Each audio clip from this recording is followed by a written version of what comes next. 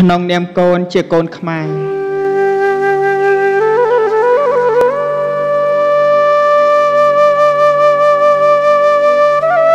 កូនអើយ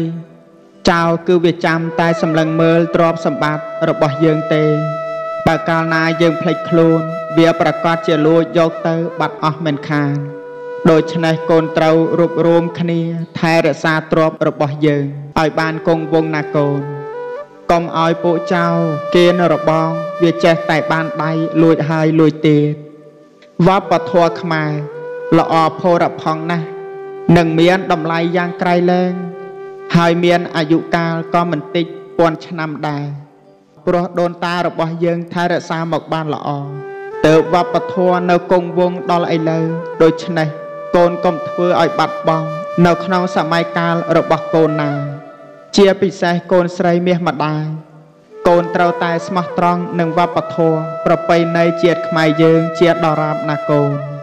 កូនស្រីម៉ែក្នុងនាមកូនជាកូនខ្មែរ កូនត្រូវតែថែរក្សាអ្វីដែលជារបស់ខ្មែរ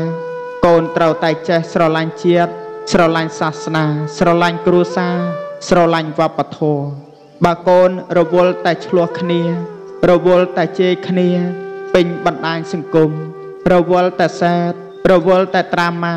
តើពេលណាទើបវប្បធម៌អរិយធម៌របស់យើងល្អផូរផង់ដូចមុន បើយើងមិនថែរក្សាទ្រព្យរបស់យើងទេតើមានអ្នកណាមកថែជំនួសយើងទៅទ្រព្យសម្បត្តិរបស់យើងទាំងអស់គ្នា យើងត្រូវតែរួមដៃគ្នា ថែរក្សាណាកូនកូនប្រុសម៉ែក្នុងនាមកូនជាកូនខ្មែរ កូនត្រូវតែជាសសរទ្រូងដ៏រឹងមាំរបស់ប្រទេសជាតិ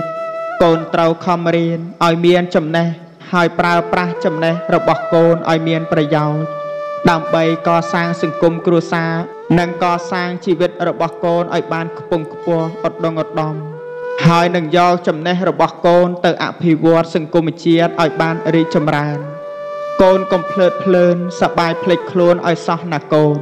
បើកូនរវល់នាំគ្នាសបាយភ្លើតភ្លើននឹងវប្បធម៌គេ សម្បត្តិវប្បធម៌ខ្មែរនឹងបាត់បង់អស់មិនខានកុំភ្លេចថែរក្សាទ្រព្យយើងផងណាកូនខ្មែរមានវប្បធម៌ល្អអស្ចារ្យខ្មែរមានសាសនាព្រះសម្ពុទ្ធខ្មែរមានអង្គរល្អបំផុត ខ្មែរចិត្តបរិសុទ្ធគំនិតថ្លា ខ្មែរមានពិធីបុណ្យជាខ្មែរខ្មែរនាំគ្នាថែជាសាសនា ខ្មែរមានមរតកពីដូនតា ខ្មែរត្រូវរក្សាឲ្យគង់វង្សខ្មែរមានអក្សរភាសាជាតិខ្មែរមានមាយាទល្អផូរផង់ខ្មែរមានសិល្បៈគ្រប់ទម្រង់ខ្មែរថែឲ្យគង់តរៀងទៅ ក្នុងនាមជាខ្មែរត្រូវថែវប្បធម៌ពូជពងអង្គរដ៏មានតម្លៃមិនធ្វើខ្លួនតាមជាតិសាសន៍ដតីវប្បធម៌ថ្លាថ្លៃត្រូវរួមដៃថែ